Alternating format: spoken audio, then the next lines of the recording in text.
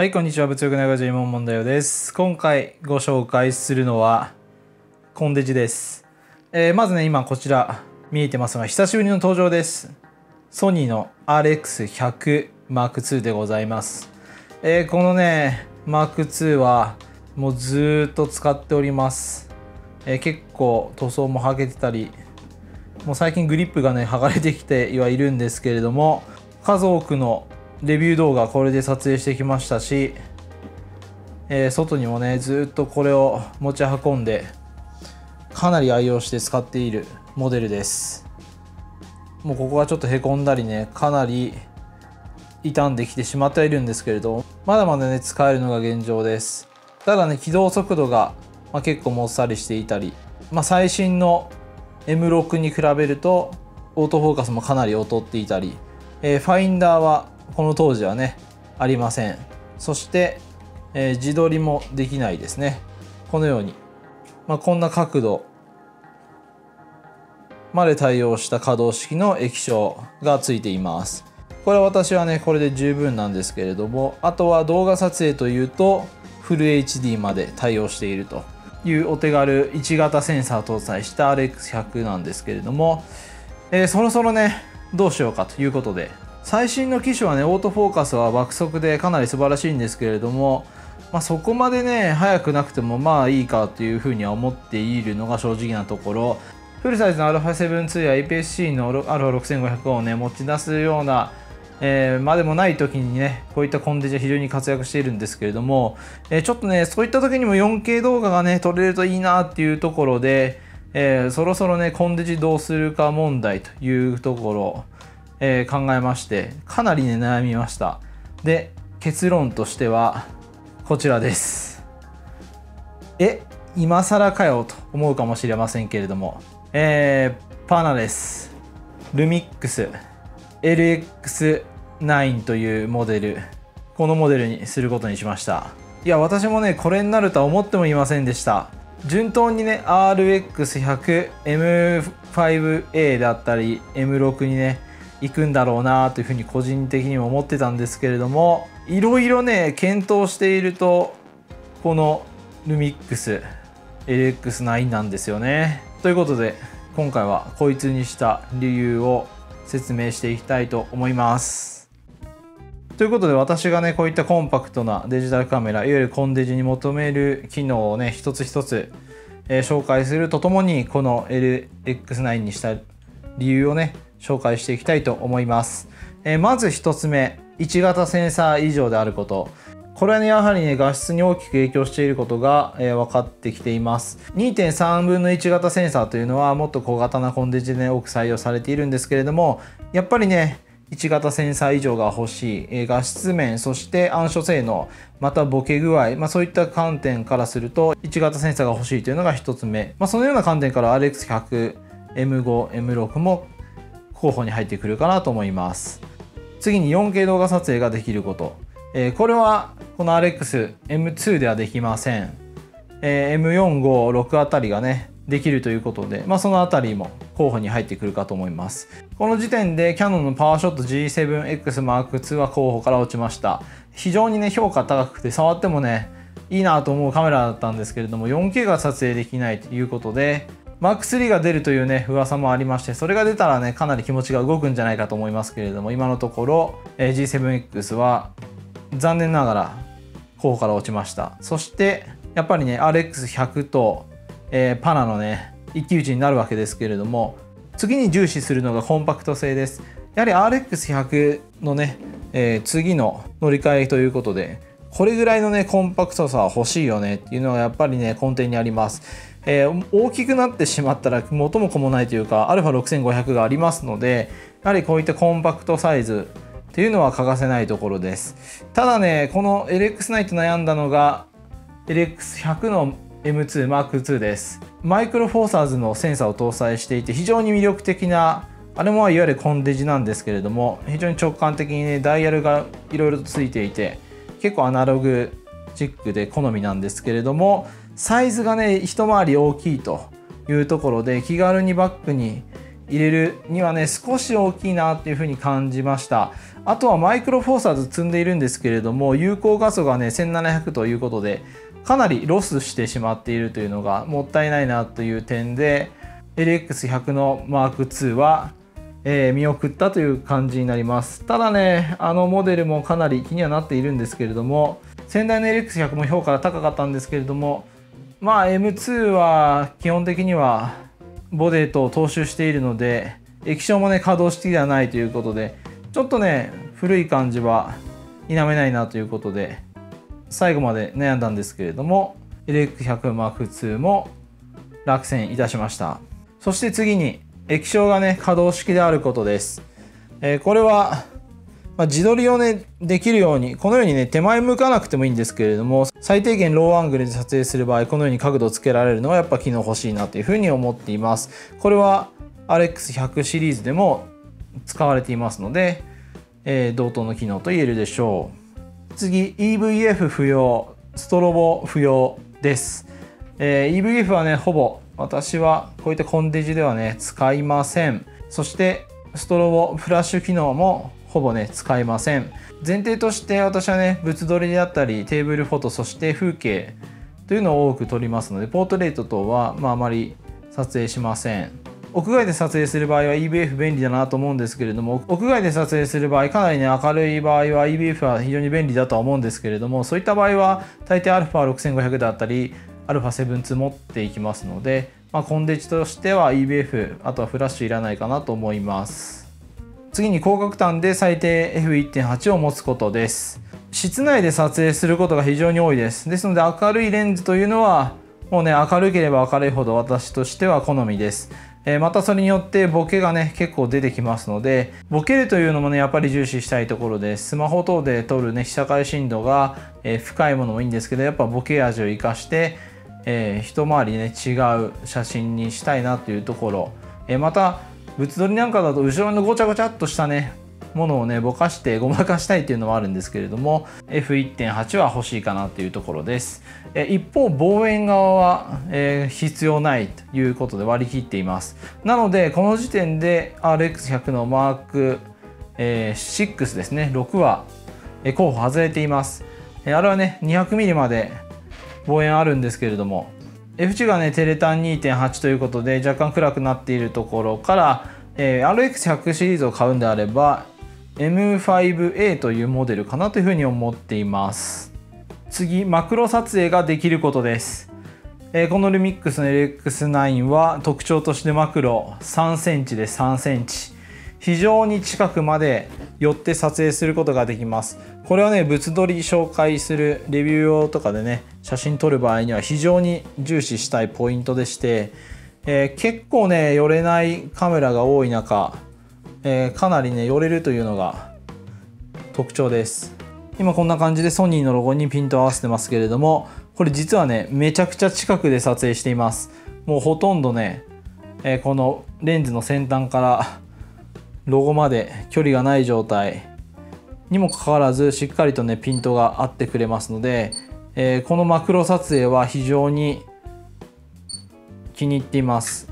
RX100 は5センチ、そして、えー、M5 は5センチ、M6 は8センチだかな。えー、ということで、かなりね、マクロ的には弱いかなと思いますので、このね、マクロ撮影ができるというのは、かなりポイントが高い点であります。この距離でね、撮影ができるというのは、かなりね、ポイント高い点かなと思っています。このね、最短距離の短さ LX9 の売りじゃないでしょうか。そして、次に必要なポイントはね、タッチパネルです。えこれね、物撮りするときにやっぱりね、厳密というかね、ここに合わせたいっていう思いがあるんですよ。今、ソニーのこうロゴに合わせたいんですけれども、えー、そういう場合はね、ここ、今、ピンポイントのフォーカスポイントにして、このようにタッチパネルで、ここのソニーを指定しています。えー、今度、この辺にしたければ、ここにね、ピント、ポイントを持ってきて、カールツァイスのとこに、ね、ピントを合わせることができます。このようにタッチでピントを合わせたいポイントを選択してこの範囲内でさらにねポイントを追い込むことができます。このようにタッチパネルはね結構1回使うとやめられない。そして何よりねこうポイントを押した時に今拡大表示されますよね。マニュアルフォーカスであったりこのようにピントのね位置の調整。非常にこの LX9 はやりやすい。これもね一つの売りかなというふうに使ってみて思いました。でタッチパネルなんですけれども RX シリーズ私ね M5A はタッチパネルを搭載しているものだと思ってねもう M5A だなというふうにね最後ね決まりかけてはいたんですけれども実はね6からなんですねタッチパネル。なのでその点から M5A は、えー、落選をしております。うんタッチパネルねやっぱ便利ですね。ということで RX100 シリーズにはね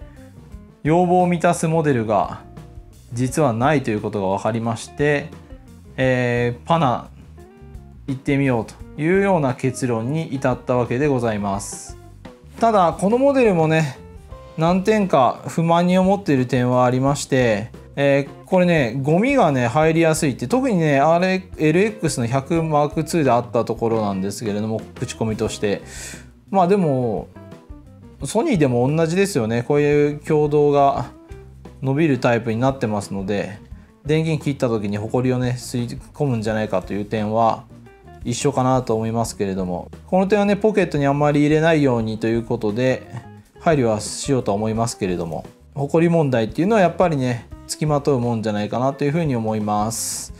あとは 4K 動画が撮影できるということで一つメリットとしてね感じてはいたんですけれども 4K の場合これね広角は今 24mm からなんですけれども 4K 動画の場合はなんとなんと 36mm になってしまいます。これはね意外とね盲点でしたね。GH5 でもそうなのかな、えー、MP4 だと 4K30p までいけるんですけれども、えー、ここで今ね例えば 24mm でこの上の録画ボタンで開始するとドンと見てください。36始まり、えー、こんな感じで 36mm まで画角がね狭まってしまう。これがね残念な点ですね。ですので全画素まあ、このように 24mm 変わらずね動画撮れると最高だなと思いました、えー、あとはこの電源のレバーがね非常に小さくて押しにくい。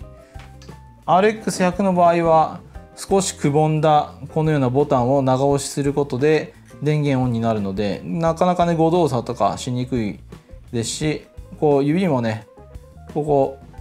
ちょっとへこんでいるので分かりやすかったんですけれどもオフ。オン。この操作感はまあ慣れかと思いますけれどもまだ慣れてはいません。あと手ブレ補正が弱いということです、まあ、ほとんど効いてないですね。これは他の方もレビューで紹介してくれていますけれども手ブレ補正機能オンにしてもほぼ効かずブレブレになるというのは、まあ、歩きながら撮影は厳しいかなというふうに思いました。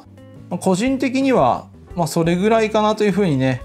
えー、悪い点というか気になる点は思っています。あとは非常に1.4始まりの明るいライカレンズに、まあ、フォーカスもオートフォーカスもねそこまで遅くないですしフォーカスポイントもね気にならなければ自分の指定して撮影することができるので使い勝手にいいかなと思います。いやパナのカメラなかなかねいいですね。気に入っております。これ実は初めてなんですけれどもあと他の機能は 4K フォトモードとかね、まあ、こういった面白い機能も搭載していてこのように連写した中からね、えー、自由な、まあ、これ今動きがないんで、ね、よくわかんないんですけど場面を選ぶことができましてこれね出力というか SD カードには MP4 で動画としてね入っているので1秒動画とかねいうふうに入ってますので、まあ、なかなか面白い機能だなと思います。あとは 4K プリ連写ということで、シャッターを押す前もね、撮ってくれていますので、特にペットの撮影する人はね、こういった連写機能っていうのはかなり活用できるんじゃないかなと思います。あと面白い機能がフォーカスセレクトモードです。これ物撮りする場合に面白いんですけれども、ちょっと撮影してみましょう。このように撮影すると、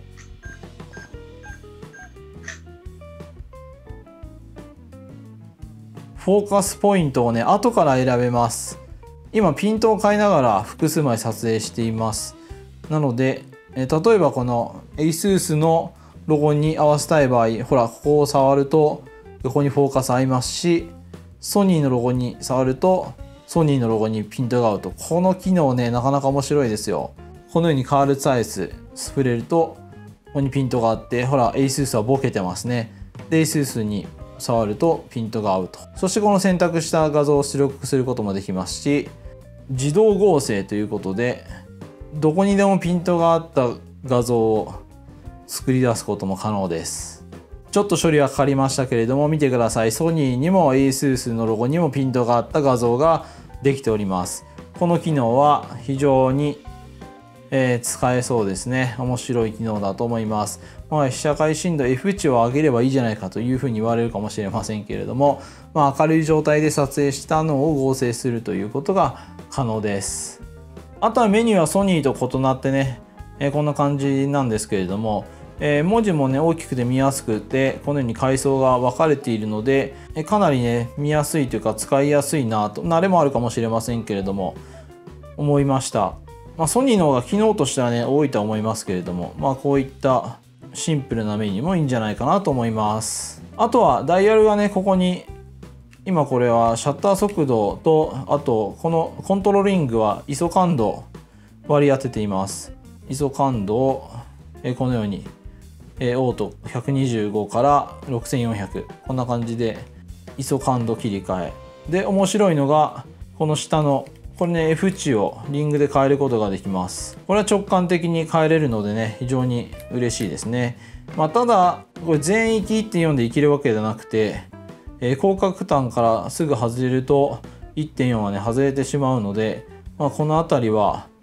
実際の設定とこのダイヤルの状態が異なるというのは生まれてしまうかなと思います。あと最後にこれ実はね2016年11月発売ということでもうめちゃくちゃ古い。発売された当時は YouTuber の方ね、えー、レビューということでアップされてはいましたけれども、えー、今更感が強いのですが私の